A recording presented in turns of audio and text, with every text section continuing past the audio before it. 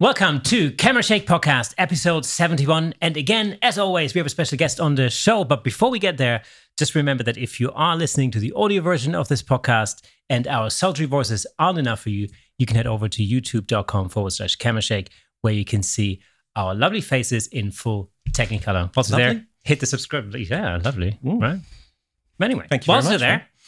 hit the subscribe button, do the bell thing, whatever YouTubers tell you to do. That's cool. But for now, this is it. Camera Shake episode 71. And today's guest is none other than the photographer, filmmaker, writer, YouTuber, and, as I've just found out, fellow musician, Sean Tucker. Sean, how are you? Yeah, I'm good, man. How are you? We are very good. Doing all right, fellow musician. I didn't know that. Exactly. What do you play? Uh, keys. Yeah, so I was, I was, uh, I used to sort of play synth and sort of front bands with vocals, um, Huh. back in the day. Just a long time ago now. Excellent. This sounds like there's a band coming together. We you know? have got a massive band. Yeah, yeah, yeah. Between like Frank Doorhof, yourself, Scott Kelby, I think. Adam Lerner. yeah, Adam Yeah. Lerner. I know there's a whole band there. Love it. Brilliant. Amazing. So, Sean, you've just recently um, moved to the lovely Yorkshire. yeah, it's it's great. I mean, it's it's it's obviously really different from London, where I came from before. Um, but it's been like a welcome change. I think like when I moved back to London, gosh, it would have been almost 10 years ago now. I did it because I knew I needed to get work coming in again. And it's it's easier to be in a city and try to get everything um working. But I always had in mind, you know, when I when I built things to a stage where it didn't matter where I lived, that I wanted to get out because it's a Yeah. great city and I I visit often. I mean, I'm down again this week. Um and I'll still, you know, go down to shoot every now and again. But honestly, it's not really the place I want to live. I think I've always been a, a country boy. I'd prefer to be out where it's a bit quieter. And where I am now is, uh, it's just north of the city of York. Um, and m- my house is just on the edge of the North York Moors, which is a beautiful um, area of the country where it's, you know, uh, lots of little villages, but lots of sort of farmland as well, and moorland and and woodland, and it's yeah, it's just a lovely place to be.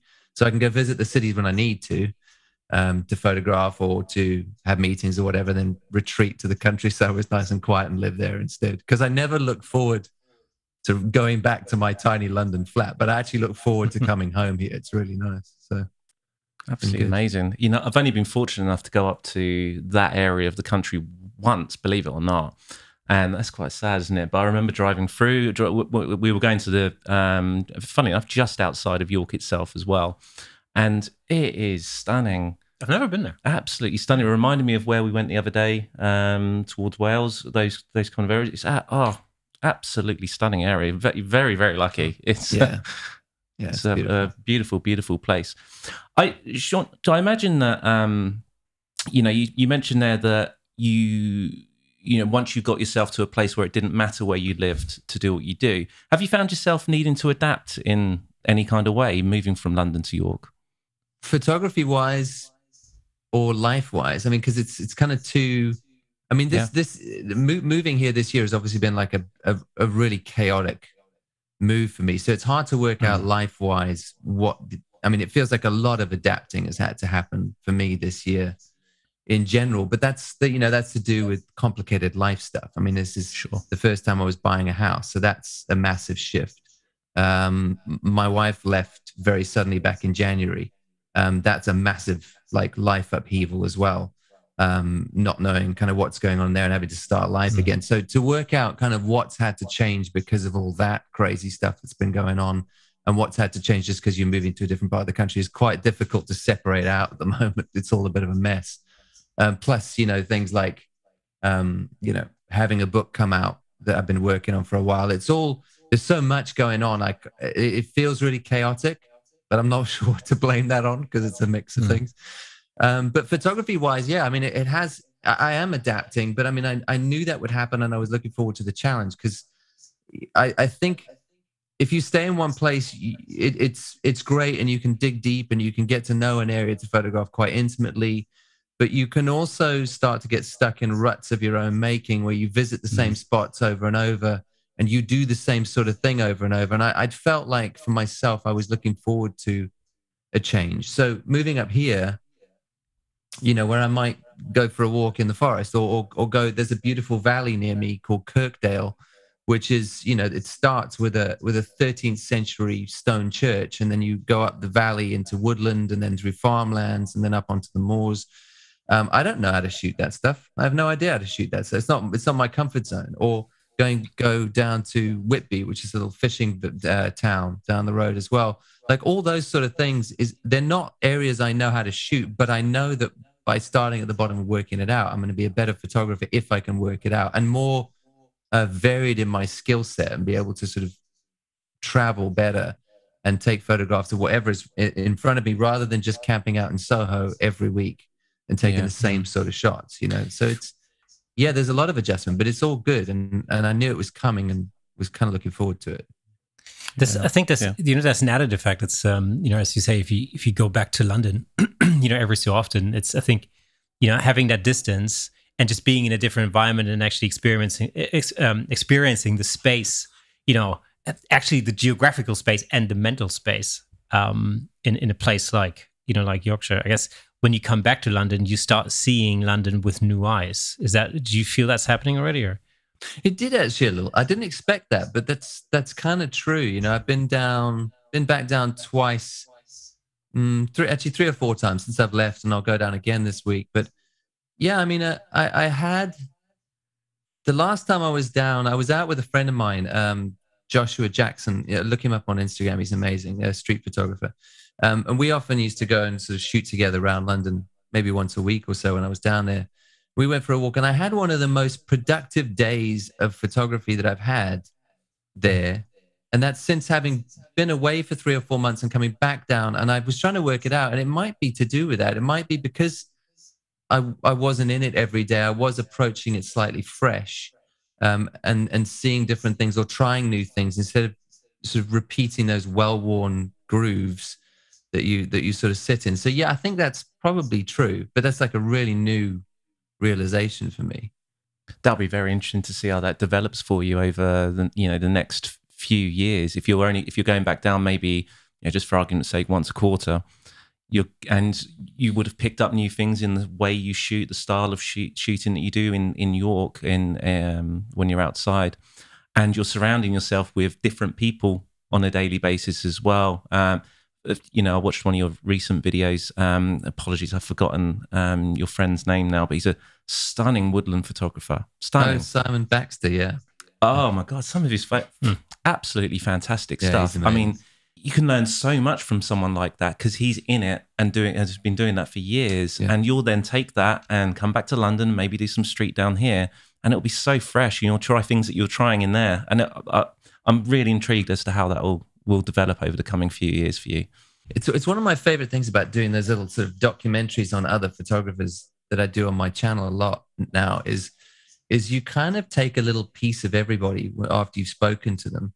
Mm-hmm. Um, you know, everyone teaches you a little new thing, and it's not that you want to go off and sort of copy what they do. I mean, that would be a, a big mistake because you'd sidetrack what you're what you're actually moving towards. But but everyone teaches you something different, and Simon in particular is someone who who teaches me about composition like nobody else because he walks into a woodland and I've been in with him a few times. Like, and you walk in and I can't make sense of anything I'm looking at. It's, it is just a mess of branches and tree trunks. It's proper, proper visual chaos. Hmm. And he makes little micro moves. He's like, no, no, stand here. And then just slide slightly to the right like this. And everything just kind of snaps into place. And he knows how to do that really fast now, just from having done it for five to six years. And I think I think when I shoot a frame, um, if I'm out and about on the street, I, I traditionally look for very clean frames, very clean images. And I think it's probably because I'm a bit of a chicken when it comes to composition. So make sure there are less elements to arrange and then it looks cleaner and it's easier to get to a pleasing composition. But but he pushes me to go, well, why don't you why don't you try and find chaos and make sense of it? Even even if you are in a city and not in a woodland. Like that's that's what I take away from him is to be braver by including more in the frame and working harder to put everything in its right place, which he's a, a ninja at. I found woodlands very difficult generally to photograph. It's it really scares me. It all looks the same. To well, it's I find this I find this very difficult. It's exactly like you said. You know, I find it very difficult to get decent composition or to even know what I'm looking at. Mm. You know, um, and I've I've been out a few times actually with the intent of creating some photographs, especially with my daughter. Um, and um, I always find that I always fall back to the kind of safe zone where I actually put my daughter in the frame, Yeah. under Yeah. a tree or something, you know. Yeah. So it's like Give a, it a subject. Yeah. yeah, give it a subject, and it's- but it's, it feels like a little bit of a you know get out of jail free card, basically. I'll just you know she's got she's a you know cute kid. I'll just put her in the frame, and, Yeah. and that's it. Simon Baxter's YouTube channel is really one worth going and taking a look at because he shows you how he thinks about it. And and it, it really makes a lot of sense. And there's lots of layers to it. Like he's on the Mm. one layer, he's sort of he knows all the individual trees. He knows why they grow there and and what that means about the area and the soil and the weather and all that Hmm. kind of stuff. And then he knows, and then on top of that, he'll add a, a seasonal layer. So they change through each season. He, he might go back and photograph those things at different seasons because they look very different. Hmm. And then he'll there's weather conditions as well. So he might want uh, light in there. He might want early morning light. He might want fog to kind of separate out the layers because it's quite confusing.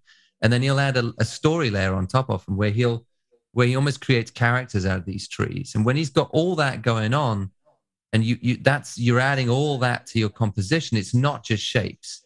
It's now it's now um, the fact that this one tree has wound itself around another tree, and mm. that middle tree has died and hollowed out. And it's you know when you when you when you realize he's not just shooting a tree, it's like he's he's showing you things. And then you know I mean he he he loves Lord, Lord of the Rings and the Ents and those kind of things. So he's also adding like he's also almost personifying these things. I think when you do mm. that, it's easier to make something as what we walk past every day, walk past a thousand trees a day that we think of quite mundane. He makes it a subject by adding all those layers to it, which is quite cool.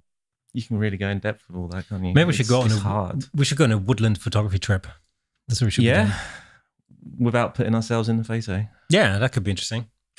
Okay. We did. We were challenged not too long ago um, to do some street photography, which we did. And actually, I don't think we failed. I think we did okay.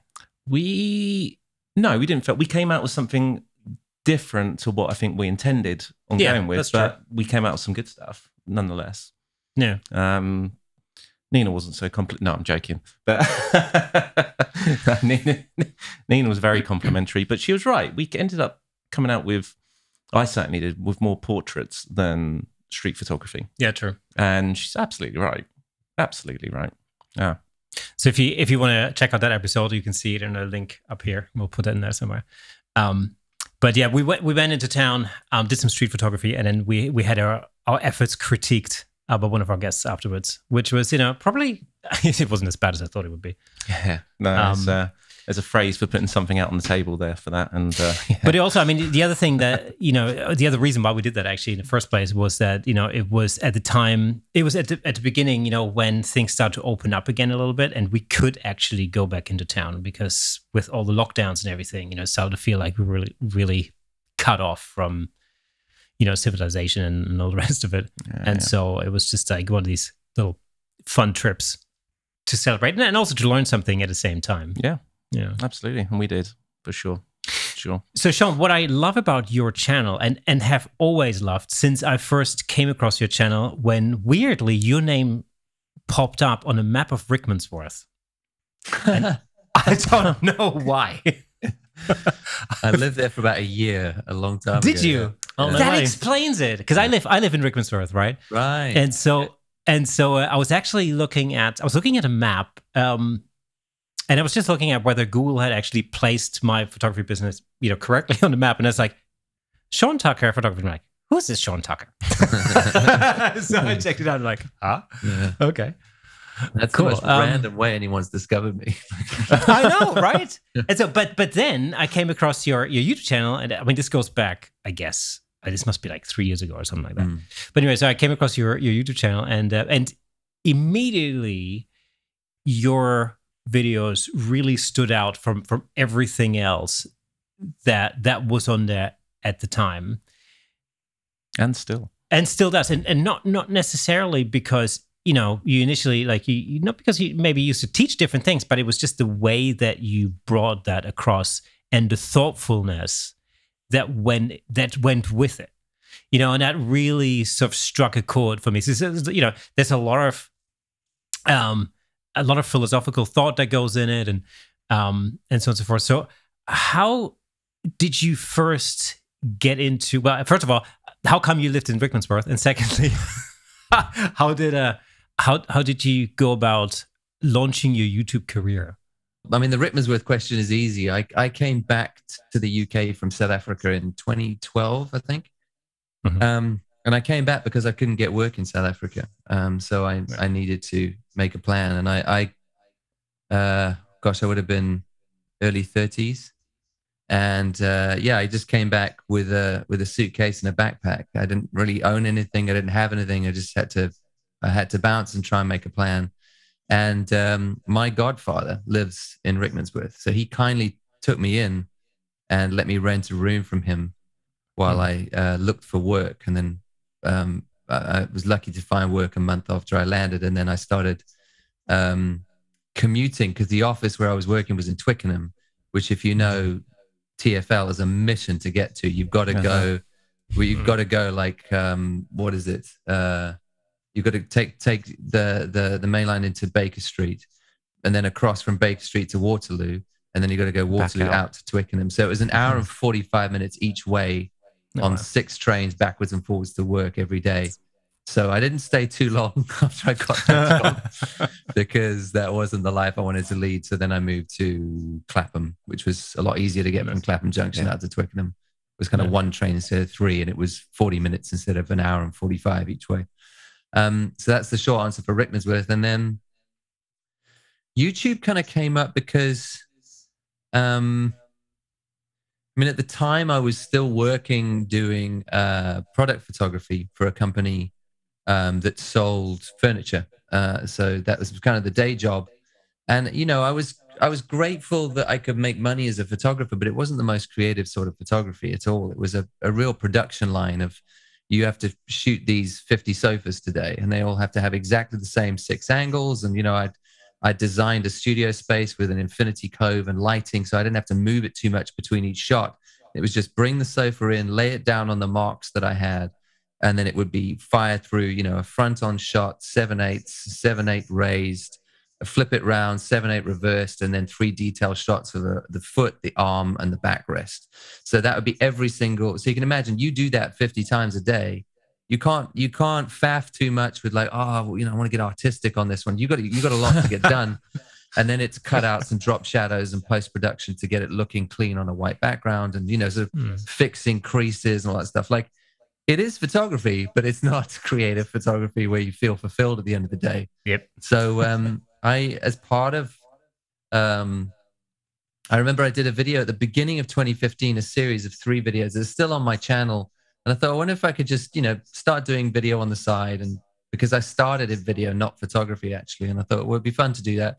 So I made three videos teaching the stuff I'd learned about shooting big products. Because when I went online four or five years before that to try and find somebody to show me, because I was starting out this new job, there was very little about that. There was lots of tabletop product photography stuff, but very mm. little to show you something at scale. Um, and so I made this this series, which did quite well. You know, people people uh, watched it and shared it around because it was filling a niche, I think. Um, but I didn't care about the video. I didn't really I didn't really enjoy the kind of dry tutorial stuff. Mm. So I, abandoned, I did what everyone does, which is just abandon the channel straight away. You make a few videos, it doesn't doesn't really fulfill you, so you go, well, that's not what I want to do. And then so that was January 2015, and it was April 2016, I think, May 2016, where I kind of got fed up with the photography stuff I was doing, and and and I, I started to not enjoy picking up my camera every day, which is a sign like that you need to either change jobs if you can, but if you can't, make sure that you're doing something on the side of the day job that creatively fulfills you. So I went off to Snowdonia in Wales to go and do some landscape photography, which is something I'm not good at. I don't know how to do it, but m- my theory was if I if I try an aspect of photography that I, I'm rubbish at, it's going to take me back to the beginning where it was fun and exciting to learn new things and refresh photography for me. Yeah. And I thought, well, maybe I should just make a little video about that. And um, and I, I, I filmed the thing, um, and to share a bit about why I was doing it, that I was feeling photography was stagnating for me and I needed to try something I wasn't good at. and then just vulnerably showed images that were, to be honest, fairly crap. Uh, that, but it, but I think the story of me going and trying something new grabbed people and it felt to me what like what i used to do when i because through my 20s i worked as a pastor in south africa so it felt to me more like what i did in the church where i would stand up and talk about my life experiences or things that i'd learned to hopefully inspire other people to get a better handle on their lives and something just clicked together because i could not only talk about photography which i enjoy but i could reclaim something where, which i actually enjoyed way more in my 20s and combine them together and then move forward with a channel. So that's kind of where it started. I find watching your your channel and your your videos very um very calming um is the way I, w- I would put it. I um you, you get so many YouTube has become this world of energetic um probably also falsely energetic um people and that's that's great you, you they have their place and I have them th- those moments where I need to see that type of content. Mm-hmm. But you handle it in such a different way. You handle it in a way that I, I'd like to think I would attempt to handle it, and it's very matter of fact. It's very the reasons why um, I'm making this video, why I'm telling you what I'm telling you, and going about it so that anybody, absolutely anybody, whether they're just picking up the camera for the first time or they've had a camera in their hands for 50 years, that they can all understand and relate to it.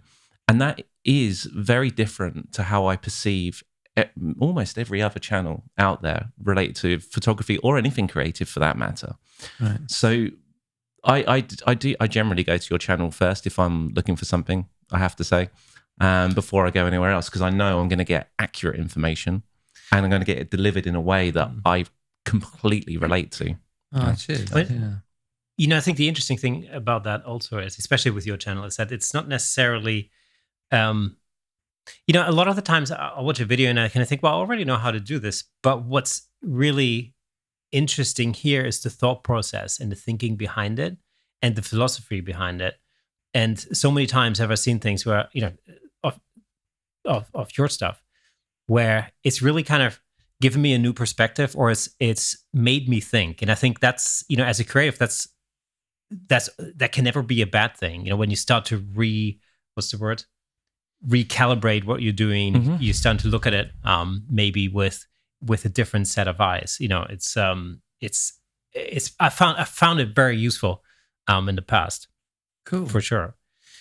So you just mentioned that you started your kind of speaking career because I, I, want to talk about this a little bit because it, another thing that really sets your um, your videos apart. It's just the way that you naturally communicate with the viewer. And mm. you've said it. It's it, there's a lot that comes that seems to be coming from yourself. So you you, you seems to you, you like what's the word?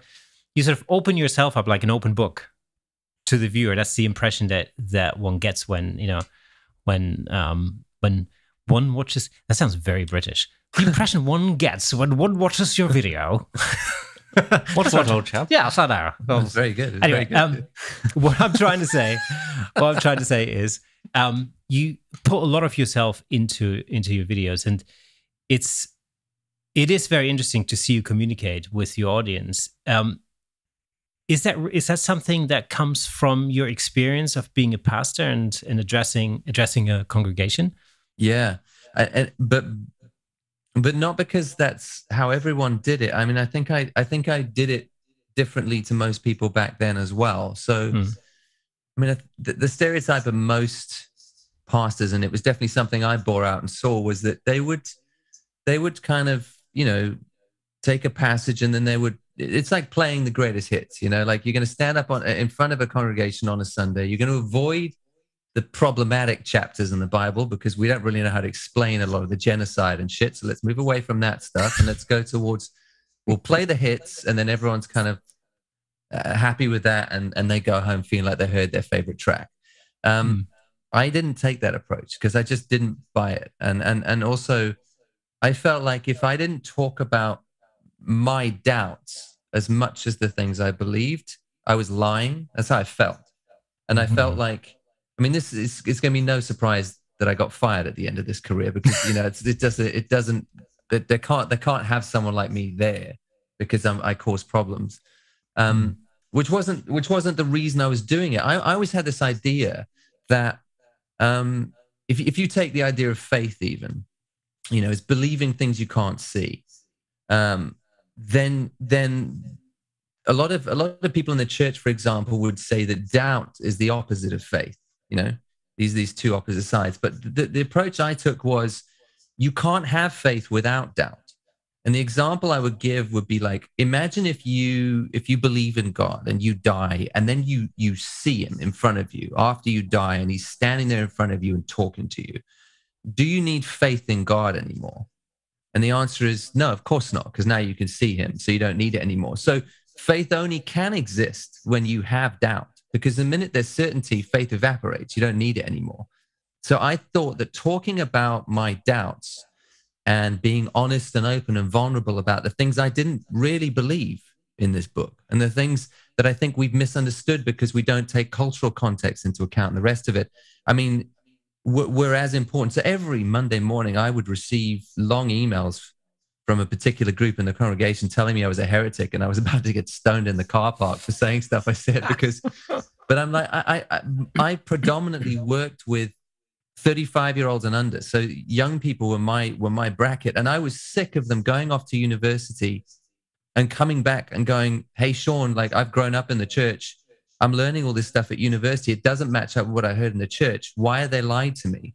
Uh, and I had to go, I'm, yeah, they have. I'm sorry. There's a lot more to the world than what they're telling you. And I was sneaking them out the back door, telling them, go and follow truth. Wherever you find it, go follow truth. Because if, if God is truth, that's where he is. And maybe he doesn't live here as much anymore. So go follow what the things you, you find out that are true and dig deep on that stuff.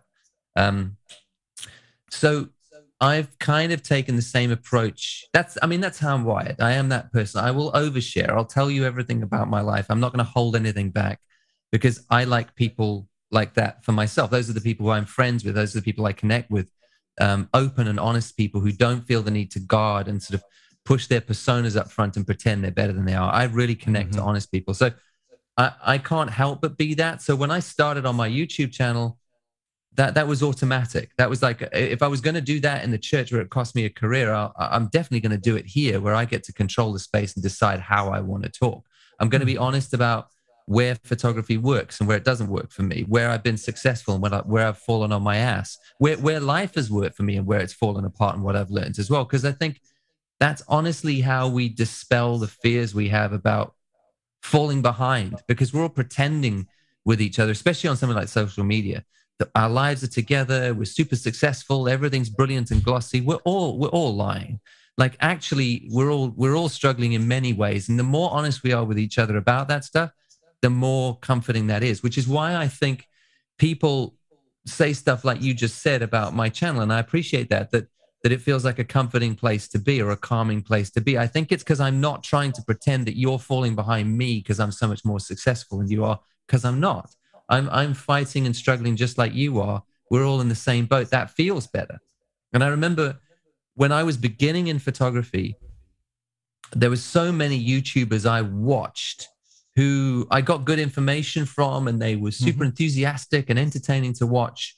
But I felt bad because I was trying all the things that they were trying and I wasn't as successful as, as they looked.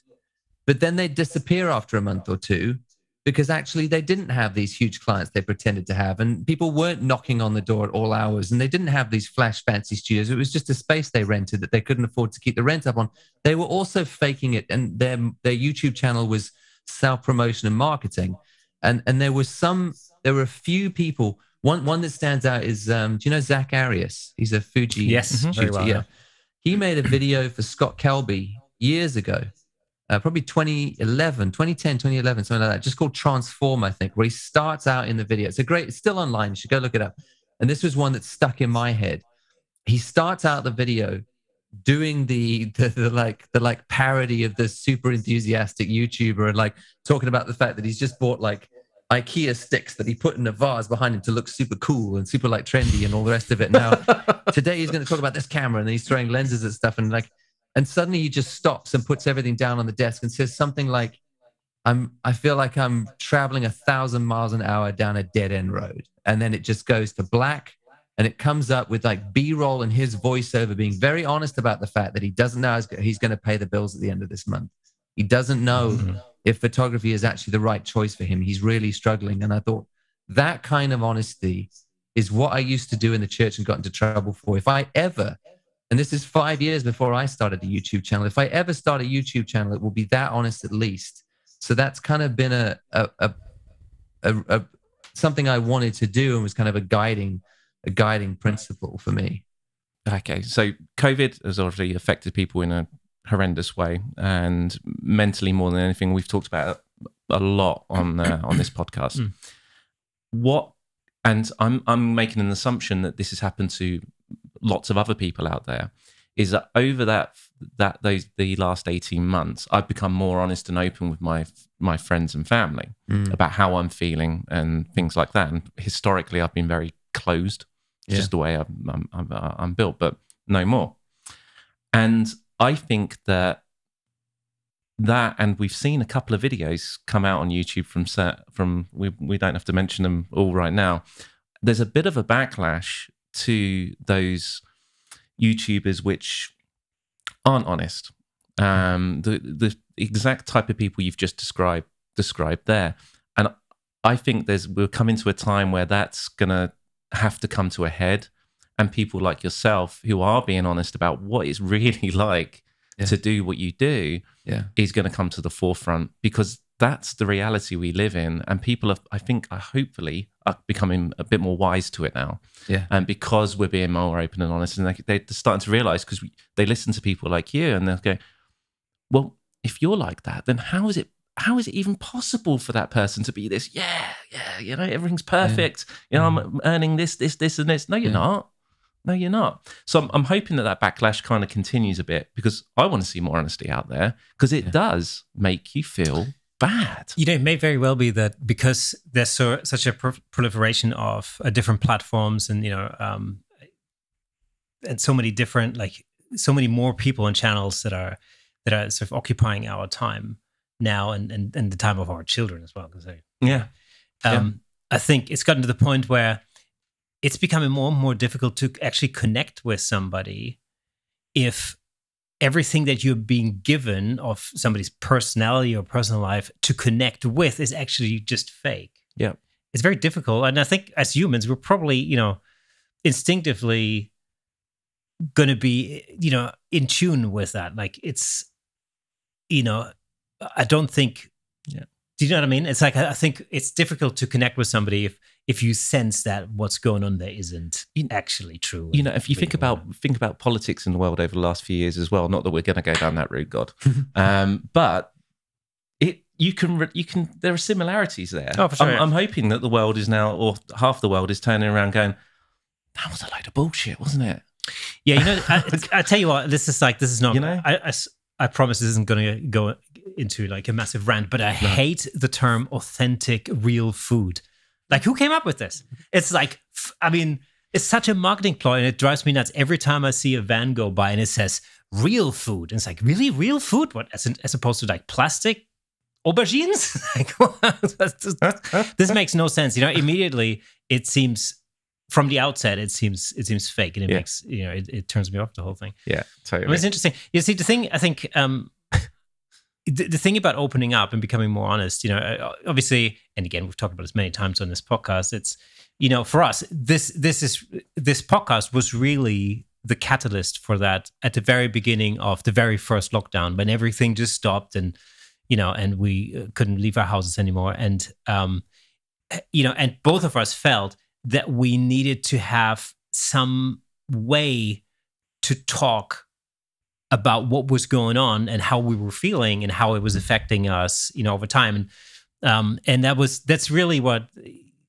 lies at the at the at the very um, core of of how mm-hmm. we started the the Camera Shake podcast was because, you know, we we'd spend hours talking about cameras and photography and whatever, um, but it very quickly became this thing where it gave us really a channel that we could really, you know, just be honest with each other and say like, oh, you know, it's like I feel like the walls are caving in today because I haven't been out the house for six weeks.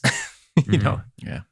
Sure. How did um how did that affect you? Just talking about um COVID for a minute. It's how how how did it affect you, and how difficult was it moving house during COVID? um, uh, I mean, uh, most most of kind of lockdown and stuff was was all right. I mean, I, you know, I, am I'm, I'm an introvert, so I I wasn't one of the ones who was really struggling mentally. I don't mind alone time, so that was okay. Mm. Plus, I, I this um this publisher approached me just before we went into lockdown, so I I had a book to write through lockdown, which is a great project to have if you're stuck at home and you can't go anywhere. So I kind of had this distraction and didn't mind um, the space. I just used it to kind of plow away at this thing. Um, yeah, moving was tricky because um, I moved to a place that was being built, and there were were a ton of delays, mm-hmm. which uh, because they you know couldn't get bricklayers and they couldn't get bricks, right. and you know I mean basic stuff you need for houses. So like uh, it kept getting pushed back. I had to leave my London flat at a point because I needed to give in notice. They knew I was leaving. Um, and then I was stuck in an Airbnb for a couple of months in between places, waiting for them to finish it. And then when I moved in, it kind of wasn't finished. And it's just, yeah, it's been a bit of a nightmare, to be honest. But I mean, yeah, I mean, uh, people are dealing with a lot worse than that. I, I'm, I, I can't complain too much. It's just been a lot of kind of inconvenient stuff. I've almost in my head, I think, just gone, well, this year's a write off. You know, you get to like two thirds of the year, you just go, well, I'll just, we'll, we'll pick things up in 2022. I'll get through this one and then we'll start rebuilding next year. But yeah, I mean, it's moving itself has been has been a really good experience, but all the kind of details around it have been pretty challenging. You know, all the kind of logistics and stuff. Did you take Did you take that as an opportunity to get rid of lots of stuff? Yeah, I mean, honestly, I don't, I don't, I don't have a lot of stuff anyway. Uh, I probably have more stuff now than I did before I moved because I didn't own any furniture. I just I rented sort of semi-furnished accommodation and stuff. So I and and I pare my life down a lot. So I don't I don't have bookshelves full of books. I have photography books, but I, I read everything off a Kindle. I don't take DVDs or anything. You know, it's all mm-hmm. it's all streaming nowadays, and it's you know you don't.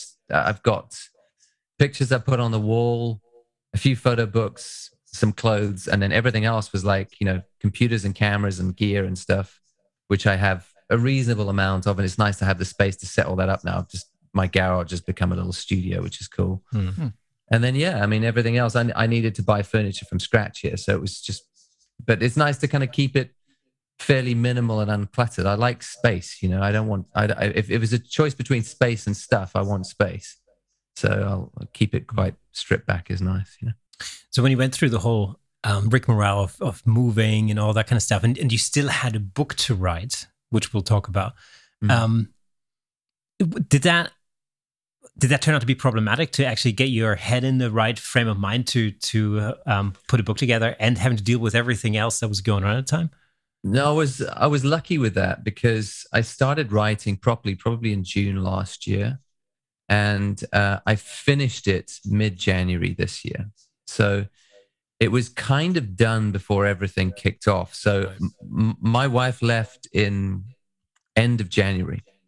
Um, she literally just went to work one day, sent a text and said, I'm not coming home. I don't want to talk about it. And that was it. So, and if she'd done that like a month or six weeks before when I had to finish the book, I think I would have been a bit of a mess and not being able to finish it. Because when you, when you need to generate thoughts and ideas, and all you can think about is this terrible thing that's just come out of nowhere yeah. at you. Mm. I don't think I would have been able to do that. But thankfully, the only stuff I had to do in February and March was you know, I shut stuff down on social media for a while and took a good break to kind of grieve and cry this stuff out and work out how to move forwards. And all I needed to do with the book was editing stuff. So uh, at that stage, the book goes off to uh, proofreaders and copy editors who go through and sort of give you notes on things to change. And it becomes a more technical exercise, which I can focus on that because I'm not generating new ideas, I'm tidying up. Um, so that was that was it, the timing on it was fairly good. And then by the time that was finished, mostly, I moved up here April 10th to an Airbnb here for a couple of months and then here. So all that stuff was done before I moved as well. So everything was kind of out of my hands at the right times uh, in some ways. So there's like little little things to be grateful for amidst a, a partnership. it's like at least at least kind of you know that kind of, that those things kind of happen as as well as they could have under the circumstances. I think the timing. I guess did did that help you actually um, take your mind off of things as well at the time? Um, not really. I mean, when something when something like that happens, you're not going to run away from it. It just is. It is what it is, and you you you kind of need to face it. What what I did do after I moved to York, because um, I was in the city of York itself in an Airbnb for a couple of months, um, and that was the first time. You know, after after I made a video about it actually and talked about liminal space, which is this idea of being stuck in between two things, stuck between the old and the new. So the old is gone, but the new hasn't yet arrived. So in so many ways, I was sitting in a in a in a in an Airbnb that wasn't my house, that I didn't really have a home. I was surrounded by boxes that I couldn't open because why would you unpack in a place that's not yours? Hmm. For two months, um, you know, my old my old relationship had collapsed. Um, there's no new relationship there. There's no new partner helping you through this. Um, I'd left behind friends, hadn't really made new friends in the new place I'd gone to yet. Um, I was in between so many old and new things that, but that I'd read in so many different places actually, because I read a lot of sort of different philosophies and spiritualities. I find it interesting. The commonalities between all of them just seem to be the ways that human beings intuit the same stuff without having to compare notes, which to me suggests it's true. And so many spiritualities say that the time we learn and grow the most as human beings is in that liminal space, in the in between space. Because when life's working for us, we don't really have to question very much or build very much. We can kind of sit on autopilot. But when it's all fallen apart before the new before the new status quo arrives, you've got a lot of thinking and processing to do. So I got really deliberate about taking daily walks for an hour a day just to go. And you know i might take photographs as well on the way. I might not but the point was just to get out because I find for me that walking is the the way that I process and think the best. Um, so I did that a lot, and sometimes that was you know grieving what I'd lost, and sometimes that was thinking about what I never want to have happen again and how I can prevent that. And some of that was thinking about well, what do I want for the future? What can I make sure I build into a future going forward in all the different ways that I'd lost old things and was moving toward new things. So. Hmm. I just tried to use a bad situation well um, I'm still trying to do that, and I did practical stuff as well. Like um, I I signed up with a with a therapist and started going to weekly therapy sessions. It's not that I felt like I was I was in any danger of falling apart, like or or, or harming myself or mental illness or anything like that. I just think it's really healthy to go and talk to somebody about things that you're going through, even if you think you have a handle on it. And you know, I, I might think, well, no, I've kind of got this handle. It's still a massive life thing to happen to you. And it's mm. probably best to to not just assume you have that stuff handled, but to go and sit and talk through somebody who's going to be objective with you and tell you actually if if you are if you do have it handled because it's really dangerous at times like that where you can think you've got it all together and suddenly it's not suddenly it falls apart because you've assumed it's fine but you can get into a fog of confusion that doesn't feel like confusion and it's really healthy i think for anybody in any of those difficult situations, just go talk to somebody. It's it's not a hard thing to do. Um, and you know, you might feel like it's it's not worthwhile, but the more you do it, you know, I've been going for like I'm still going now, just because you know there's more stuff to talk about. I found out, and that's that's always good. And I'm I'm learning new things about myself in my early 40s. That's that's not a bad thing. That means I didn't know mm-hmm. things about myself, and good I am now. You know, and and how not to repeat those mistakes going forward. It's it's all good stuff. You know man. I wish uh, I wish I'd done things in the way that you you've kind of handled them. Uh, I went for a similar experience. I got divorced yeah, a few years ago, right. and you know it was horrendous. There's yeah. really not any other word for it. To the yeah. point where I my house was the house we lived in was due to be sold um, in a week's time uh, to complete, and I hadn't found anywhere else to live yet. Yeah. So do you know what I mean? I was that yeah. kind of bad, if you like. You know, I was kind of hiding it all away, and no one really knew that that was going on because I wasn't, I didn't share things in a way that I, I can talk about them today. Yeah. And it was actually my mother who realized what was going on, took pity on me and said, I'm going to take care of this for you. Yeah. And she found me somewhere to live that day. Wow. And I, I, I moved in and, and that was great. You know, it was fine for, for a week. And, you know, it's, it's interesting you say that you, all those boxes sat around you is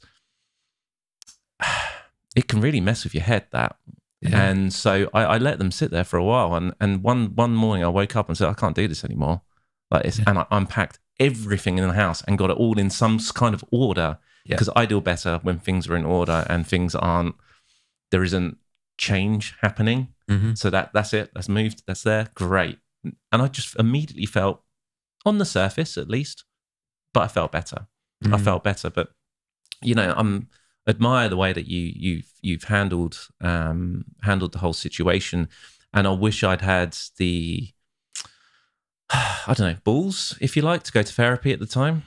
Um, you know, I've spoken to a psychiatrist a couple of times in um, recent years, and even just those couple of sessions really, really helped. Yeah. And that was a, I, I used to work for Amazon and um, yeah, in corporate, and that was right at the end of it, you know. And he said, "You you need some time off from this place because this, in conjunction with you not dealing with previous issues, Mm. Is what's taking you down right at the moment. And you, if this is one thing you can control right at the minute, it's your work. Control it, and you need some time off from it. So I did. I took a, a month out, and when I went back, I handed in my notice Mm. it was a massive factor to how unhappy I was at the time. And I immediately felt better because I'd controlled that situation. yeah. And that, that, and the, you know, cut a very, very long story short, is that's when I started to go self-employed. I started Mm. um, moving into um, filmmaking and and photography, and none of this would have ever happened for me Yeah. if I hadn't taken that time out to talk to someone and reevaluate where I was at that moment. And if anybody's out there feels that they think mm, maybe I should have talked to a therapist, it's not- just go do it. Just even if you go for one session, it's, not, going it's to not be scary, beneficial. is it? I mean, you, when when you go, you realize they're not there to give you answers. They're there to be an objective mirror that you talk at. If you go in to- because you want them to tell you what to do next, they won't. They're not supposed to. They're supposed to just sit and listen and and ask you questions to get you talking to yourself, really.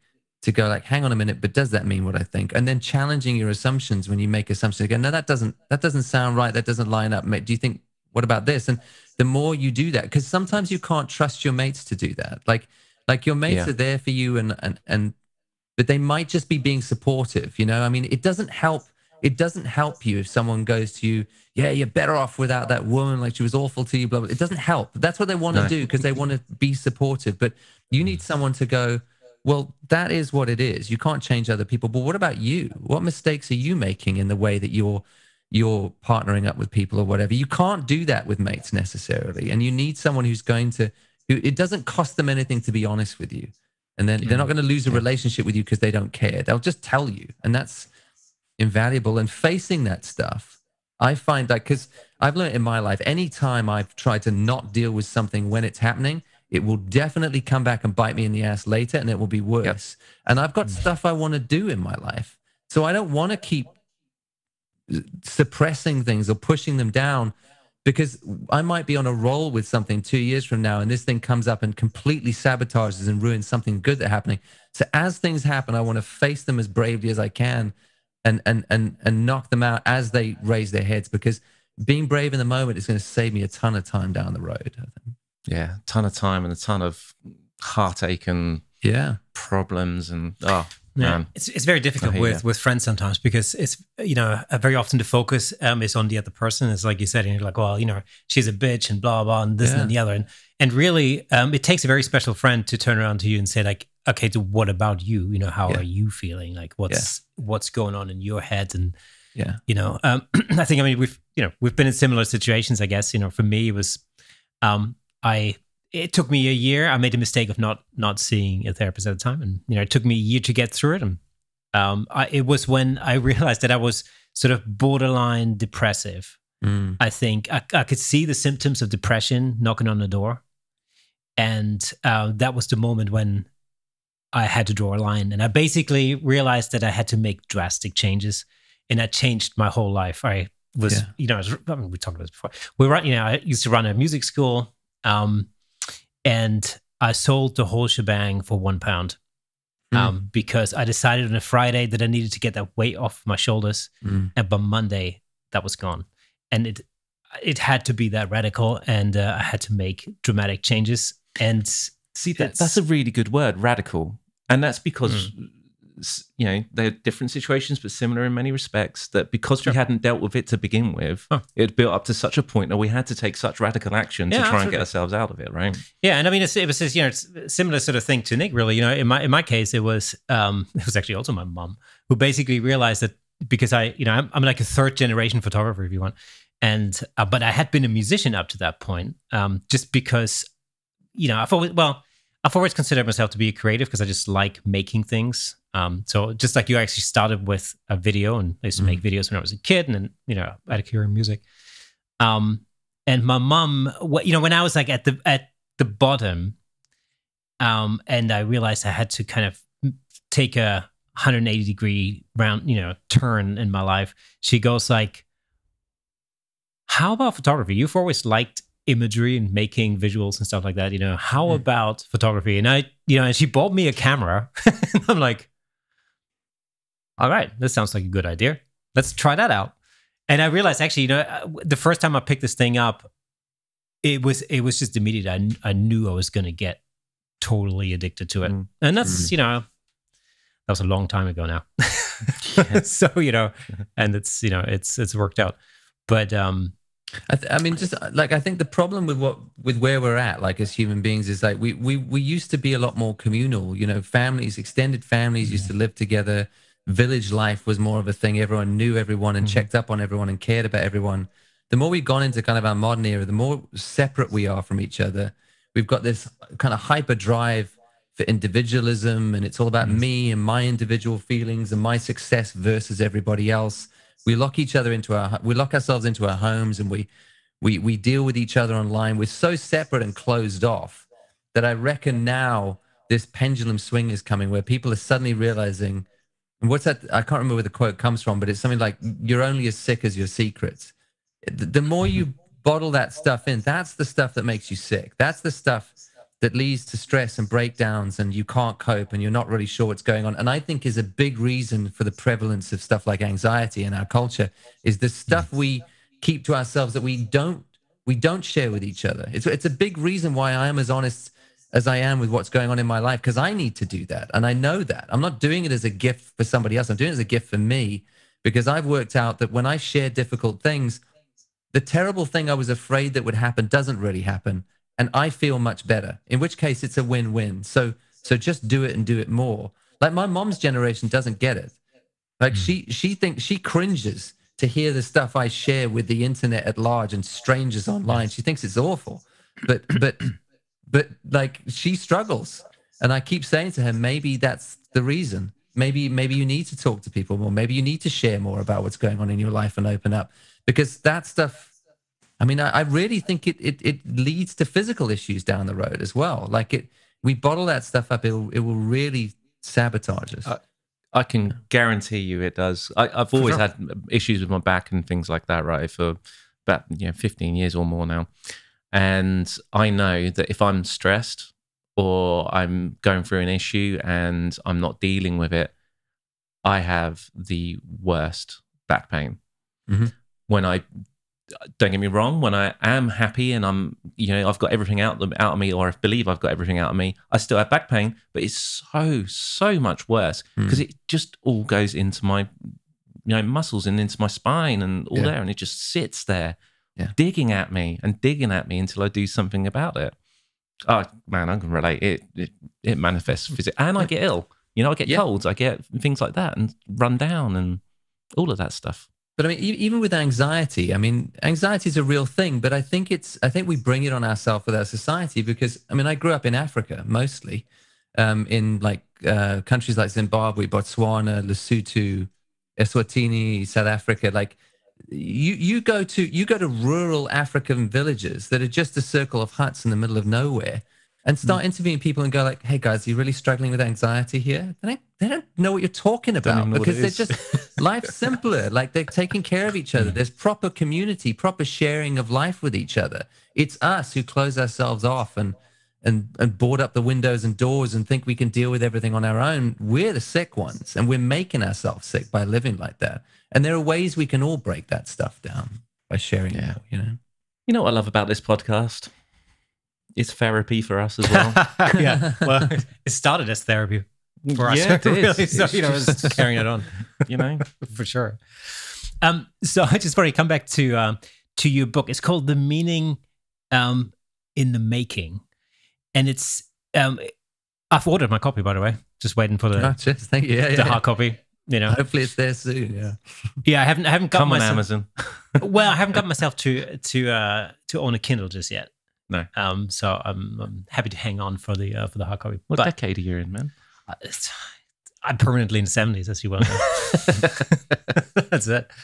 Um, but you know, uh, when I when I um, first heard about um, your book, uh, what really interested me was um, was that you're really going in depth about the process of of making something, Mhm. the creative process as such, Mm. and um, that's that that really interests me personally because I've always said this is that you know my interest has always been in like in the making of something. So no matter whether that was you know when I used to make videos when I was a kid or or um or in music, it's the creative process that's always interested me, which is why I'm I'm ex- I'm I'm an ext- I've always been an extremely bad kind of covers band musician, um, because I, I just can't stand playing the same stuff over and over again. Uh-huh. What interests me is the creative process, the writing, you know, the writing process, the recording process, and then once that's completed, I'm already looking at the next thing. Like, what's the Mm. next thing I can make?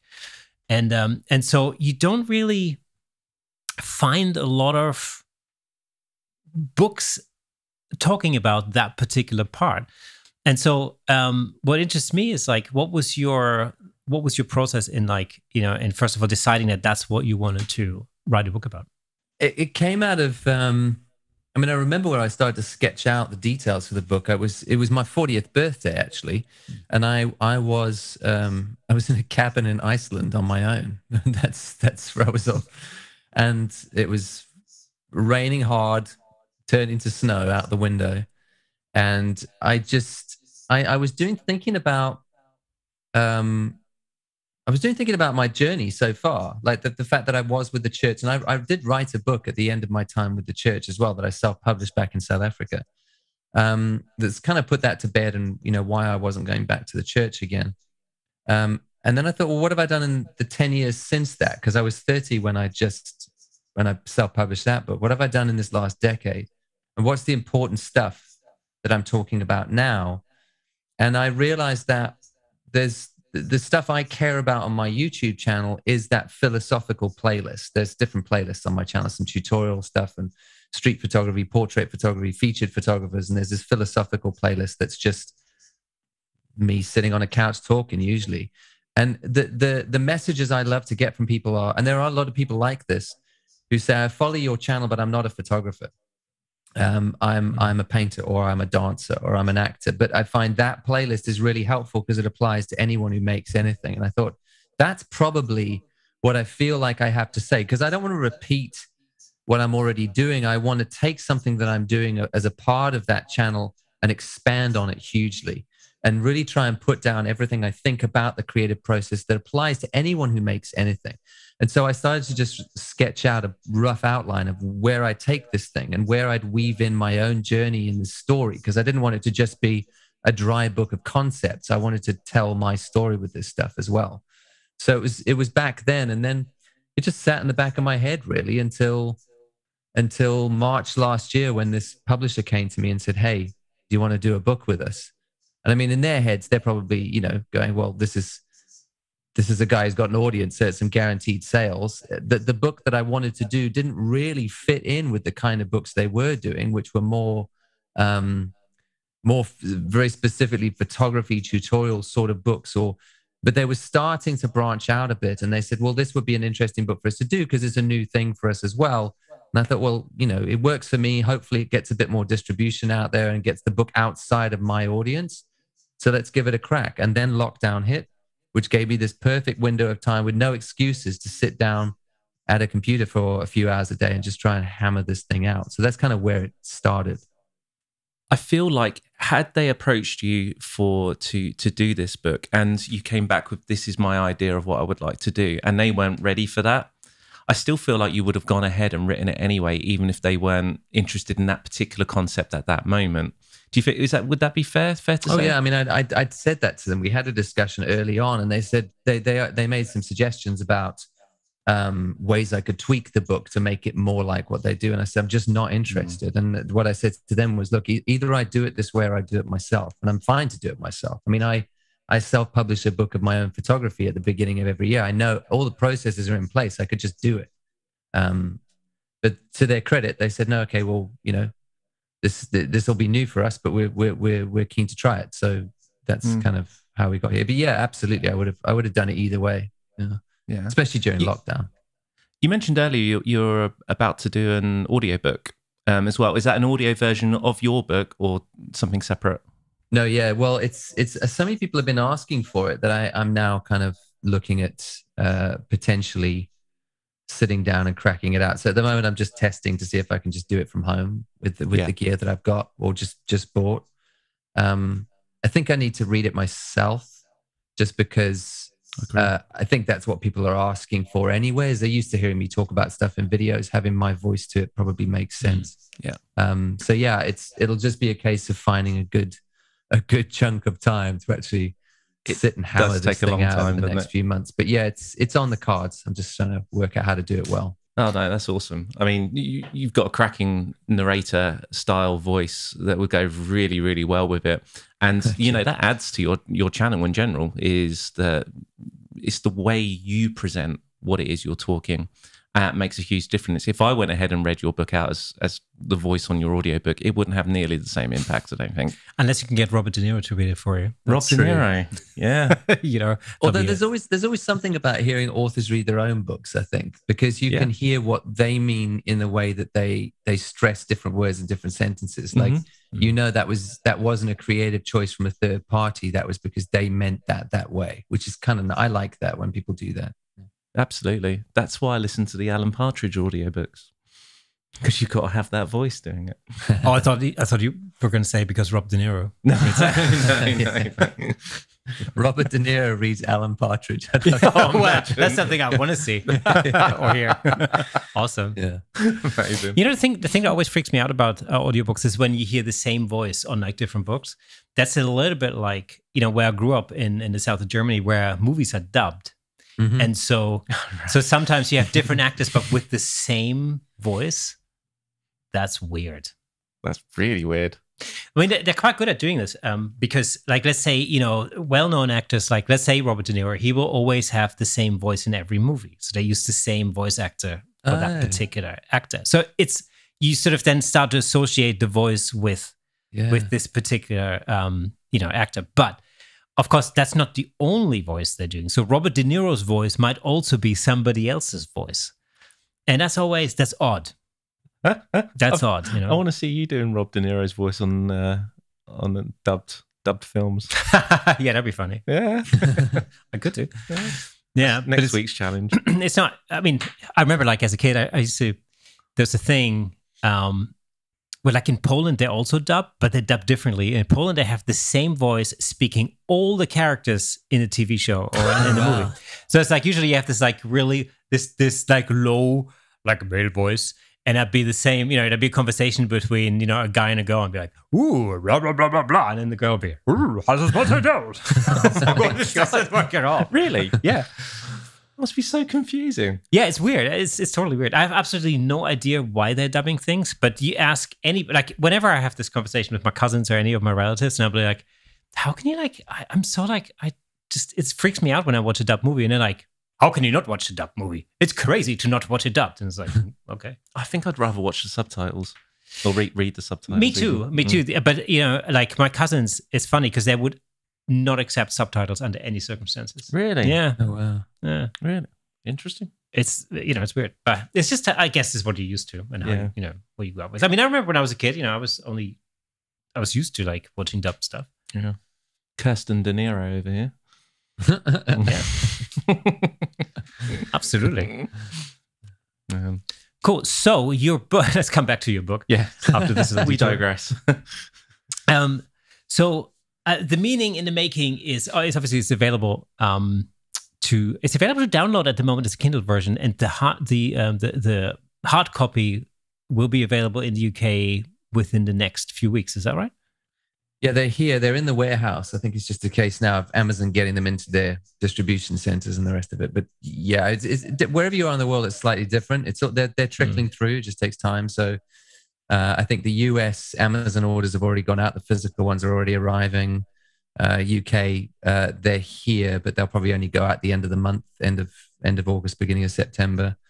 Uh, yeah, Kindle versions are available to download everywhere. You can also do it through, you know, Waterstones, WH Smiths are stocking them, like Barnes and hmm. Noble. Mm. There's you can kind of go through your traditional book depository. I think it's a big one for mm-hmm. for Germany. They like that one. Um, I've Maybe. heard. There's a yeah, there's there's a bunch of different avenues, or you can just get it direct from Rocky Nook, the publisher.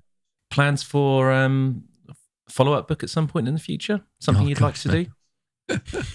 uh, no, not right now. No, I mean, I I feel like.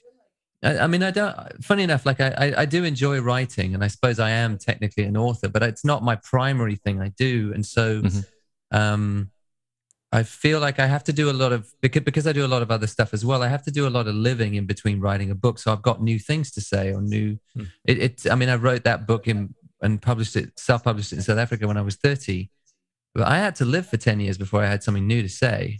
Um, and I yeah. feel like I might have to live for another ten before I've got something new to talk about again. I mean, maybe maybe I'm wrong. Maybe in a year I'll just have something burning I've got to put out there, but it's definitely not in my head at the moment. Right now, I think just, what, uh, in like PTSD from this last round of publishing. there's there's a, there's definitely a gap in the market for how to shoot sofas. Oh, I can yeah, see that. True, that's, true. Yeah, yeah. I'm gonna. Yeah. yeah. Oh, I've seen too many of those. It. it was so funny when you when you mentioned that because one one of the one of the little jobs that um that came my way somehow uh, during lockdown was uh, I did some retouching for a um, for a furniture company, uh, predominantly armchairs mm-hmm. and upholstery. Yes, it was beautiful. Good times. Excellent times. Just you know, things we do for money. That's yeah. all I'm gonna say. Yeah. Yeah. You know. Did you change the color of the armchair? Slightly. Mm. Slightly. Yeah. To but match the decor in the room that they put it in. Uh, it's mainly it's mainly background extraction and like mm-hmm. you know tidying up shadows and creases and and you're making it more vibrant. Ooh. They're all like they were all armchairs for like elderly people.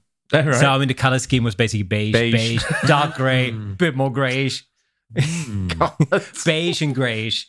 So yeah, that's kind Muted of where we're heading. That. Nothing I know it's exciting. Yeah. It's exciting. Couldn't stop myself. I was going to add some floral patterns, but yeah, wouldn't have gone down too well. I don't think. No. Sorry, my my cat's visiting right now. Yeah, we're not alone in this room. There are mm. cats. Well, she's quite happy. Getting fed up of you not talking to them. Yeah, pretty much. Yeah, pretty you may much. you may have seen her sort of pass. Yeah, yeah, yeah. through. Has she been? Is she? Okay, yeah. good, good. So obviously, the last you know eighteen months in particular has been challenging and you know transitional for you. Um, what do you see the next sort of 12, 24 months sort of looking like for you? What's what's what's next for you?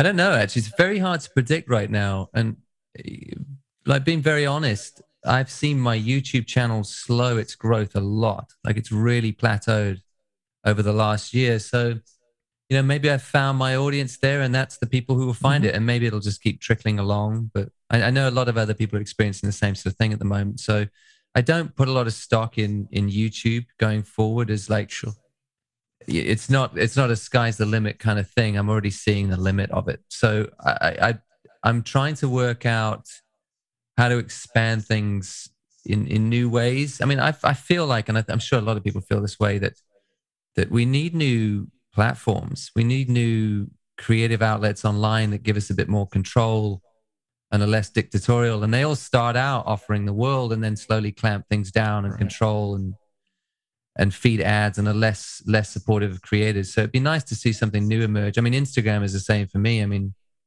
you know, I have a, a, a very nice size following on there, but it's also ground to a halt in terms of growth. Um, so, and I think everyone's kind of a bit bored of that kind of thing. So I'm looking for what to do next, and and I, I've always I've always really had that um, Thousand True Fans philosophy. I don't know if you've come across Kevin Kelly's article, Thousand True Fans, that it's really not about that big number of followers you have because most of them forgot about you a long time ago and they're not really there anymore. It's about that core who really care about what you do and are supportive of you and interested in what you're doing. It's it's it's working out better ways to serve them. So that might be YouTube for a while, but I'm on the lookout for something new. It might be Instagram for now. It's a nice way to communicate, but there's got to be something else. The book is definitely a step going forwards into a new direction, hopefully, where I can talk more about creativity in general. I'll still be feeding out photography tutorials and and because I can teach that stuff and I enjoy teaching it. I like helping people with that stuff. But I there's more important things I want to expand into talking about in the long term. Um, how that gets um, monetized and like supports me and pays the bills, I don't really know. It works for now with what I'm doing with a mix of of YouTube, although I, I don't trust it, um, and self-publishing a book of photography every year um, to that core audience. Like I can keep things going that way for now. Um, but yeah, I, I, don't really know. I, I'm not. I'm not really sure. I feel like I feel like there's a shift that needs to happen. I'm just not sure how to make that move or, or really what it looks like yet. Um, so I've more I've more got a sense that things need to change, um, but no real answers. And it kind of it kind of lines up with everything else in my life at the moment as well because I'm moving to a new part of the world. Um, I kind of leave I kind of leave this trail of great friends across the world as I move on to new places. Um, who are still there, and you know, we we still keep in conversation, but they're not in my daily life the way that they were when I was living in those places. So you know, it's again, it's making new relationships in this new part of the world. It's it's getting into the the the the culture of this part of the world, which is different to other places I've lived, and that's good. It's it's finding new hobbies here and getting involved in new photography projects. i have started on a hopefully a longer term photography project that's more documentary in nature. So that's exciting. That might, mm. in the long term, lead to a book and maybe an exhibition. But I'm very early days. I haven't taken a single photograph yet. I'm literally just, you know, I've, I've pulled together a, a, a, plan for it and mood boarded it, and I'm starting to talk to people and meet people in the area who can help me do it and and potential subjects and very early doors. But that's that's the next kind of long term project I'm excited about. Um, yeah, and it's just one one step in front of the other for a while and see which things stick and which things don't. Because my my propensity is I, I I'm a control freak. I want to control everything. I want to, and I only want to do things that I know will be brilliant and will definitely work out because I'm a perfectionist. But you know, growing up means just try little things as, and as they go, you know, yeah. plan it well, try execute it well, and then the things that don't work quite as well, let them fall apart and put something new in its place and just keep moving one thing at a time is what I'm slowly learning. Yeah. Well, it's also a learning experience, of course. You know, you have to expose yourself to different things sometimes because even you know, even if it doesn't necessarily work out, there are always takeaways from that in, in the end. And it mm-hmm. ultimately makes you a better photographer and a better creative, actually, just by experiencing those setbacks, you know? Yeah. I've always thought that, um, you know, sometimes when something doesn't work out is actually much more valuable than the things that do work out in the end because you know because you can take so many things away from that mm-hmm. you, you, know for the years and years and years i didn't believe in that and the reason mm-hmm. i didn't believe in it is because much like yourself i'm a bit of a perfectionist and i will only take on things i know that i'm i'm good at and it took me the longest time to realize well how can i really know what i'm good at if i haven't actually tried this, this, this, this, and this. I can't. And how can I know? Yeah. I can't know. See, the thing is, like, and I might fail. Yeah. And that first couple of failures was, God, they, they kicked my ass. See, the thing is, like, this is this is where when Nick and me are really different when we approach projects, for example. Um, and and I think that's sort of it's um, th- this is exactly the basis for that. Is that is that you know Nick's very organized and he's very like okay, you know, pre planning is like very big, and and I'm not. Mm-hmm. I'm like I'm gung ho. I go in all guns blazing, and I fail. I will fail, but this is how I learn. And I'm reveling in the failure because I know I'm going to come out having learned a whole bunch of things. And even if it's just, well, okay, I'm not going to do that again, you know. But um, this is like the difference between us, I think, you know, sometimes. Mm-hmm. Um, and it's been good for us, you know, uh, working together over the last couple of years or something. It's because it's pulled us both into each other's directions a little bit. Yeah. You know, I think yeah. I- have learned the, the value of pre planning for sure.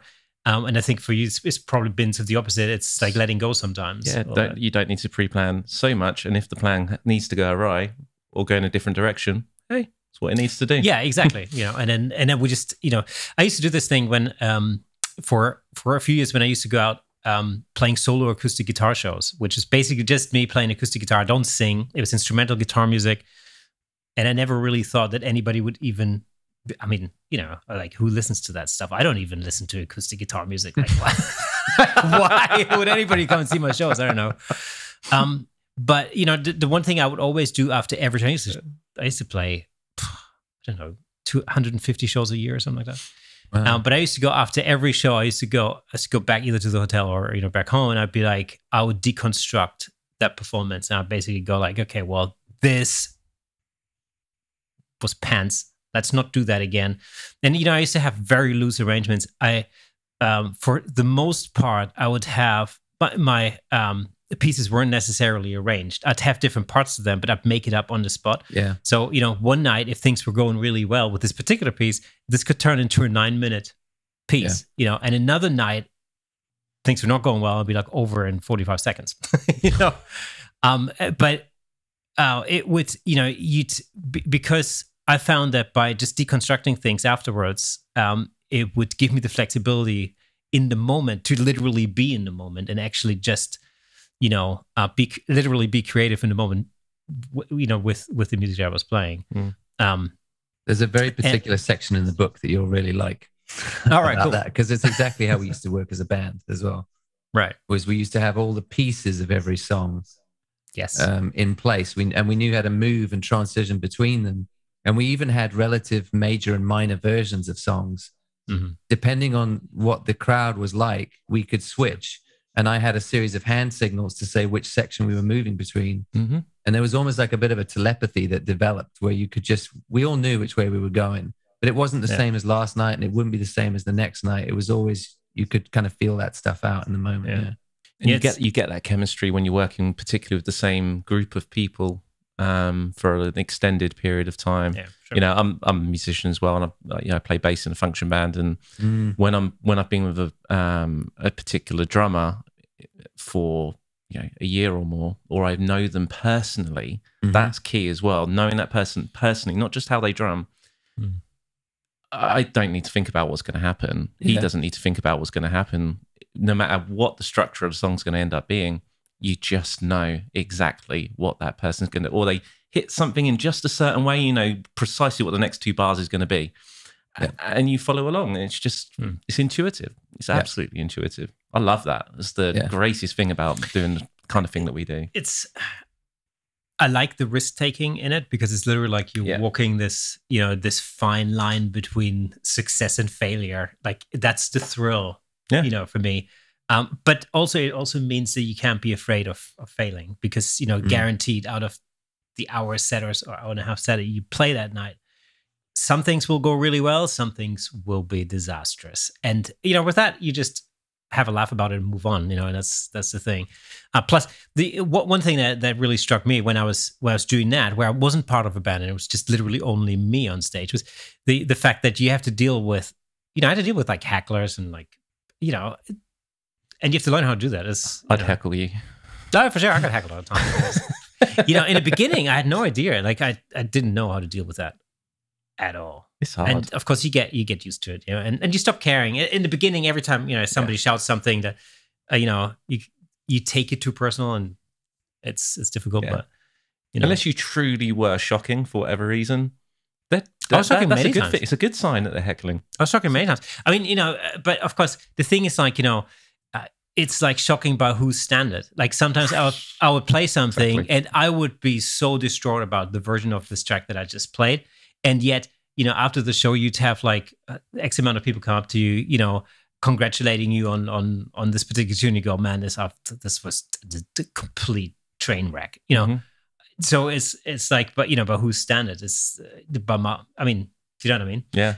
It's completely impossible to be objective with that in the first place. Did a gig a couple of weeks ago, and I ended up I ended up playing this this. Uh, well, it was "Fix You" by Coldplay. Right, of all the songs that okay. I hate Coldplay anyway. and there's the turnaround at the end, right? And I was I was playing C sharp rather than C for two of the turnarounds Right. because I couldn't hear over the subs. I didn't hear him, but I couldn't quite distinguish between C and C sharp. Oh, so you did, you did it for two turnarounds. I did it for two. Well, that, that's okay because you know, as they say, if you play the wrong note, play it again and pretend it's jazz. precisely. and I, I was I was kicking myself for the rest of that song, and the rest of that set. I couldn't I couldn't believe that I'd done that. I was so annoyed at myself. No, no one else heard it. No, of course no not. one else cared. Only me. Yeah. I won't do it again, but no one cares. It doesn't matter. No. It it makes it slightly more interesting. Yeah. Anyway, Jazz. Anyway, it's jazz. That's right. I play in the, the key of chromatic. Yes. Well, you know, on the guitar, it's it's it's easy because you know you, when you play jazz, you're always one fret away from playing the right note. That's right. yeah. anyway, there we are. Like bringing it back to photography right now. um, so are you now that you're um up in Yorkshire? Um, are, are you are you looking at of improving your landscape photography? Is that something you you're interested in generally, or because you mentioned Uh, it earlier a little bit? Um, yeah, I mean, I'm not not. I don't think I'll be a landscape photographer. I'm not. I'm not taking backpacks of gear and tripods up mountains. Like, I, but I've got my little my little Ricoh GR camera that sits in my pocket, which I do run around and I take photos in the forest or villages or Mm. farmlands and stuff. I mean, it's not traditional landscape photography at all. I, I don't really want to deep dive it, but I'll I'll shoot landscapes. Um, It's the same as street, really. I don't consider myself a street photographer. You know, I, I shoot on the street, but I don't I don't I don't shoot reportage of human interactions in candid settings. That's not what, I, what I'm interested in. It's more how light and shadow interact in space in urban settings. So now all I'm doing is switching that obsession to more rural settings. And it's is that landscape photography? Maybe some would call it that. I don't really need to kind of box it though. I'm just going to keep shooting kind of the way that I do in a new setting and see what emerges really. It's always difficult to to um, categorize things like that. That's what I find. You know, Mm. it's especially if you look at if you look at different uh, different street photographers. There's so many different different vibes and outlets. I find it very difficult. I don't think you have to categorize. Sometimes it can help you focus if you put yourself into a category, but why why do just shoot what you like? Mm. Shoot what you like and that that's it. If you start shooting what you don't like, and you start, mm, but maybe I should be in this this category and that means I can't shoot that. Nah, rubbish to that. No, I'm not on not on board with that. I think you just shoot what you enjoy, what what you like, and ultimately you're gonna end up with better better work. I mean, the way the way I kind of split it up is the only the only kind of category shooting I do is hey, Hello, cat. just saying hi. Um, the, the only the only way I the only category stuff I do is portrait photography. So I am a portrait photographer, and when I'm doing that, it's portrait photography. Um, But I kind of think about it as I do portrait photography, and then there's everything else, and I don't really try and define the everything else. It just happens to be whatever I take photographs wherever I am. But then I go, I'll go into portrait mode, whether that's natural light or in a studio. So that's the only kind of stuff I box because I had that whole journey with street photography in particular, where I started shooting on the street and then would put hashtag street photography because, like, I don't know what else to call it. And then street photographers would come along and say, This isn't street photography. Stop calling it that. I'm like, Okay. And then I kind of started looking around online going, Well, what is it then? Like, what, what do you call it? And then I found photographers like Fan Ho and Ray Metzger and even some of Trent Parke's stuff. And I'm like, okay, that's fine then. So so these guys also aren't street photographers. So I'm whatever they are that maybe you don't have a name for because it, it is just whatever it is. And with and at that point I just gave up naming stuff. I'm like, well, Hmm. I'm a portrait photographer who also shoots a bunch of other stuff. And you can argue about which box to put it in while I'm shooting if you want, but I'm not really interested in the conversation. yeah. it's it's just the way I think about things. You know, uh, it's you, you see all these comments all the time. Is it really this? Is it re- no? Who cares? I find it difficult, you know, especially with social media, um, and especially with with Instagram, where there's always there's always this this sort of latent pressure of like you know organizing your feed and all that kind of stuff and keeping consistent and blah blah. And I sort of I think I've given up on that some time ago, where I'm just I don't know, it's just a potpourri of different things I mean, that I'm who are you experimenting with. ultimately, who are you trying to please with your feed on Instagram? No, for sure, yeah, you that's know, it. it's photos are photos. Maybe that's maybe that's why I only have three followers. Yeah. There's lots of different ways to book consistency in your work, though. I don't think Mm. I don't think the subject matter in my images is very consistent, but there's a consistent style in there because it's how I like. It's the things I like to shoot. It's the way I I see light. It's how I like to to to. It's the amount of contrast I like in an image. It's the amount of it's the sort of colors that I'm drawn to. So even though I might shoot a lot of different things, Hmm. uh, kind of all over the place. Uh, people will say, "Oh, I could tell that was one of yours when it came down the feed," because of those other consistency elements that I build in, and those are stylistic. And they're not. I don't bully myself with that. It's not like I'm forcing myself to shoot that way. I like the way that looks, and so I put it into every image because I choose to, and I, and and it changes over time as well. It's constantly evolves because I want to tweak it as I go along. But it's it's it's not like a lot of people seem to think consistency is a bad word because it's you're, you're almost oppressing yourself, forcing yourself into a box that you can't get out. Well, if that's how you see consistency, you definitely shouldn't do that to yourself. But I don't think that's consistency. It's it's it's allowing a style to emerge. Every photographer you look up to has a style you can recognize. Do you really think they're doing it because they're being draconian to themselves and forcing themselves to shoot a particular way? Or do you think that's the way they like to make images? It's a joy to do mm. it that way. It's it's Uh, it, it often comes, I think, from beginner photographers who don't yet they haven't had long enough for their style to emerge organically. And so they're frustrated by this idea that they need consistency in their work. So they reject it and they're angry that anyone would suggest that's something they need.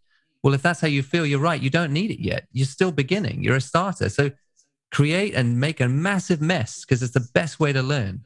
And do it with a smile on your face because it, you shouldn't have a style or consistency until it starts to emerge naturally. Um, and before that is all about play, I reckon. It's a bit like just taking it back to music because I think people can relate to that in a in a slightly easier way than what we do um, visually with photography. Is that you hear a song, and if you know the band in any way, you know who it is performing that song, even if it's a cover. Even if then not, you can't hear the vocal at that point, so you can just pick out, oh, that's his voice, definitely. You know who's who's done it, right? You know exactly who it is. Yeah. And that's the way I, I think about that that kind of thing. Is even if you go through albums one and two, which will invariably sound very similar, But not album three. but not album three, that's always going to be different because they're finding they're they're they're on a journey as well. They're finding a new way. You still know it's them. You still know, you know. Well, I'll, I'll mention Coldplay one more time. Had a cracking first couple of albums, really, if you think about it. What happened after that is probably best not talked about, but you still know it's them. I can give you a great example. ZZ Top, first 12 albums, exactly the same. and then the 80s. That's what things change.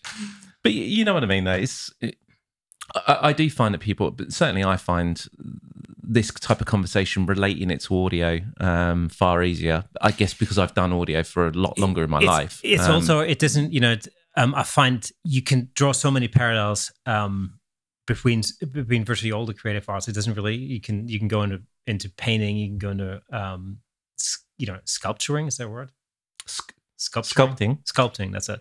sculpturing. you know whether it's uh, filmmaking it's the same you know it really ultimately you know that's that is just how creativity works you know um and in the beginning it, music is a really good example i mean especially especially the guitar is a really perfect example for this because as a guitar player you start out by copying loads of other players that's what you do you you know you learn a hendrix solo and you learn some van halen and you learn some billy gibbons and you learn some i don't know led zeppelin or whatever and then years down the line, what emerges out of all of that chaos is you, your Mhm. voice. And it's unique because your influences have been unique. You know, like, you know, I grew up with with listening to Billy Gibbons because that was just, you know, it just struck literally struck a chord with me. Mhm. Um, and then everything else came about. So I sound different from the guy next door who, you know, started listening to Metallica and then, you know, whatever. I mean, it's basically it's the the culmination of all of these different micro influences over time will then just you know mold you into who you are Yeah. and if you know people go like oh well you know david gilmour has a very recognizable style um and slash and whatever yes but you know they did exactly the same thing i mean it's you know the reason why they sound like slash or why David Gilmour sounds like David Gilmour is because probably David Gilmour sounds like David Gilmour because as a kid he used to listen to lots of really boring guitar players, Yeah. and that's how he turned out to be as boring as he is.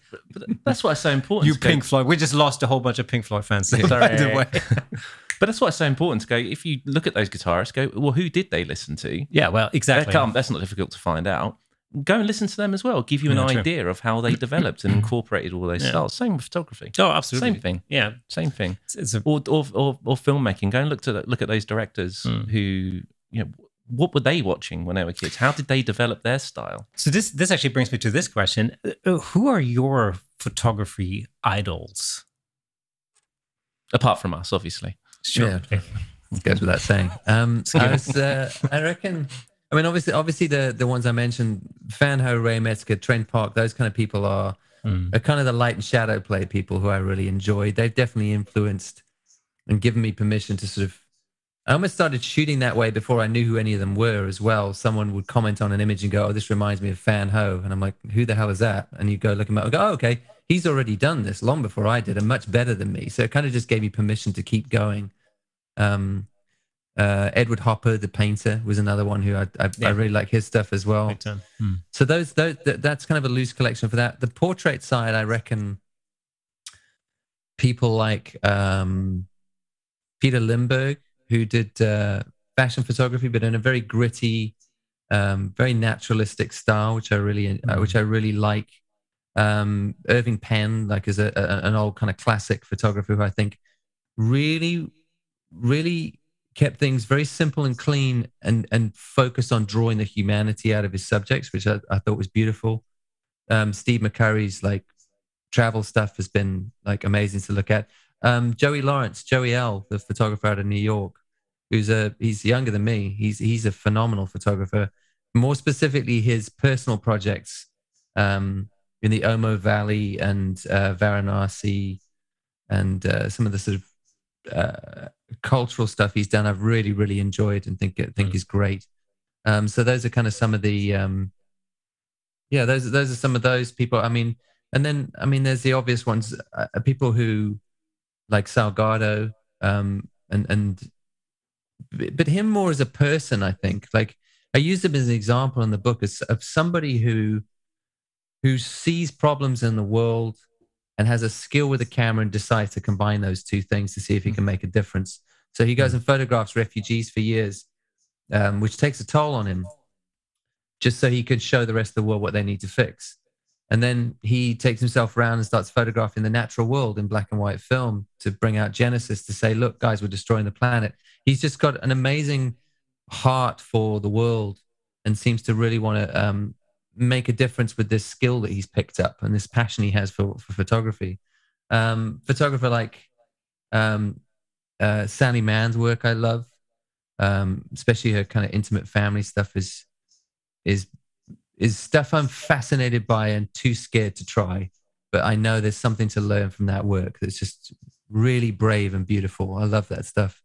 Um, Joel Meyerowitz is Hmm. is someone who I really enjoy m- a lot because um, uh, someone else I think it, like produces beautiful portraits, but we we always think of Joel, you know, on on Fifth Avenue in New York with Garry Winogrand in the '80s shooting street photography on those corners.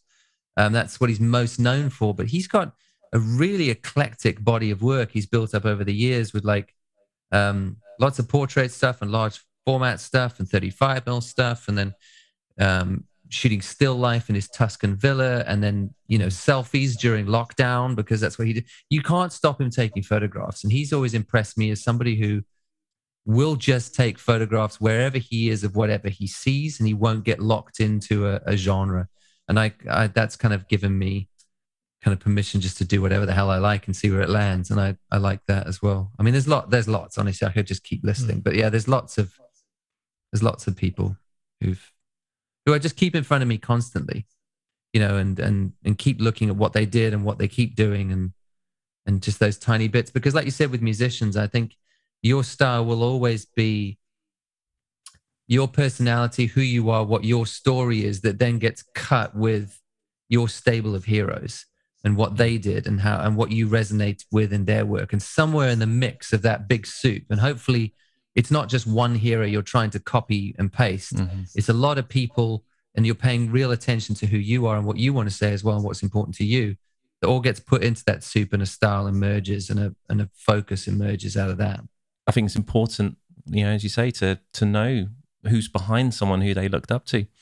Um, you know, it's it's been incredibly important to me over the years, and you know, I think anyone checking out um, your work um, and who you are is worth going to worth going back and checking out all, all of those great photographers you just listed out. Um, yeah, so go check them out. It. It's always it's always fun when you're trying to emulate somebody and somebody else it comes up to you and actually pinpoints exactly who you were trying to emulate. Like I had this. Um, in fact, we, we were talking about this very uh, earlier. Um, Nick and me went out to do some street photography, um, and uh, this was when was this in December, wasn't it? We went to Brighton. Yeah, we went to Oh yeah, yeah, we went to Brighton to do some street photography um, because things were hotting up um, in London, and uh, you know the COVID cases went through the roof, and so we kind of decided it wasn't going to be a smart move to go into town, so we went out to the coast, um, and it was a really sunny day, and I, I just, um, I've been looking at your at your Instagram profile, and I was looking for these pockets of light. So there was there was um, there was your stuff, and then there was uh, Nina Welsh Kling stuff, and I kind of thought, well, if I can if I can kind of take that as like a framework that gives me something to focus on, and that's exactly what I was trying to do. And I did. Um, I was lucky enough to get a few shots, and then somebody went, "Oh, this looks exactly like a Sean Tucker photo." I'm like, cool. Last video I watched. Excellent. So there you go. Nailed it. I know, totally. So, Sean, what what's on your plate for the next few months? I mean, at the moment, it's all kind of focusing on um, uh, getting this book out to the world. So I'm just trying to um, market that a little bit. It's the stuff I hate doing, you know. So talking about something you've done, but you kind of have to do that work, otherwise you can't expect that new people will find it. So there's a lot of that going on, and then you know, uh, trying to get one or two videos onto the channel every month as well. Slowly starting this photography project that I mentioned, and then and then just going out and photographing as much as I can, I can, and as often as I can to do the the annual book of photography I do at the beginning of every year. So next year will be collection five that'll come out in January, and uh, yeah, I mean it's it's nice to have kind of a target. I mean my life my life is fairly neatly sort of um, put into targets. In in uh, all I really have to do is I try and post an image every single day onto Instagram. I mean, there's no way you can post a good image every day. I'm not that good a photographer, but at least just something that I find interesting or that's interesting about, or, or an image I took that I learned something from. I try and do that every day. So it gives me a target of shooting enough images that I at least think there's something in it that I can post one a day to Instagram. Then of those, I whittle that down. I need 90 of those to be strong enough to go into the book for the following year. And then of those, I might sell 10 as prints. So that's that's kind of the loose targets I have with photography. Um, and then yeah, one to two videos a month. And uh, yeah, trying to get the book done. I've just set up a, a studio in my garage, which Hmm. uh, I'm getting dialed in and and making sure that everything is uh, ready to go. And then slowly starting to do portraits for people in the area as well. Not Hmm. charge for money. I just want to kind of meet people, dial that space in, so that when projects start to roll, I can literally just have people come in and and I can plug in and shoot in seconds and know exactly how to get the looks that I want. Um, Hmm. Yeah, and I've got. Um, we're looking at a potential um, creative retreat in October.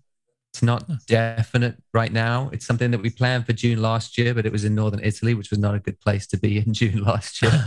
Um, so we're trying to get that back up and running again. Um, and hopefully, I, I would love to get over to the States this year if travel allows to go and promote the book a bit and do some meetups Mm. in, in a few cities, which would, would be really cool. Uh, yeah. So just all that stuff ticking along and then, you know, setting up this, this new home or house and making it a home and meeting new people and getting locked in and meeting kind of the area and finding a hobby.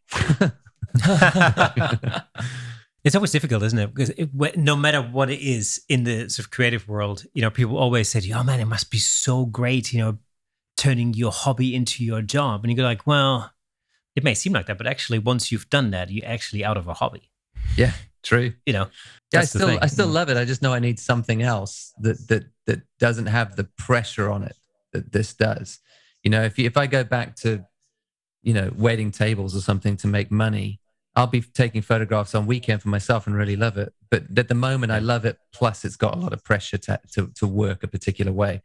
Um. So I, you know, I've been looking at like, do I get into cycling or stand up paddleboarding or just something that there's no pressure on it is literally just to do in downtime for fun. Yeah, that I love. That it doesn't matter if it mm-hmm. works or doesn't work. You know. So that's it. We have come to the end of episode 71 of the Camera Shake podcast. Sean Tucker, thank you so much for being on the show. It was an absolute delight. And um, and in fact, I should just an- uh, mention that when you know when we first decided to have guests on the show at the very very beginning, like some almost seventy episodes ago, your name was at the very top of yes, my it list. It was actually the ah, very first number one name of people. You know, we're starting to think like, wouldn't it be cool if, you know, um, and uh, and so I'm I'm really delighted that you know we finally um, made it happen. So thank you so much for for being on the show this week. Um, again, the uh, the book "The Meaning in the Making" is available on on Amazon and in any good bookstore. Go and order there. The links we're going to put a link in the description. Mm-hmm. Obviously, that'd be cool.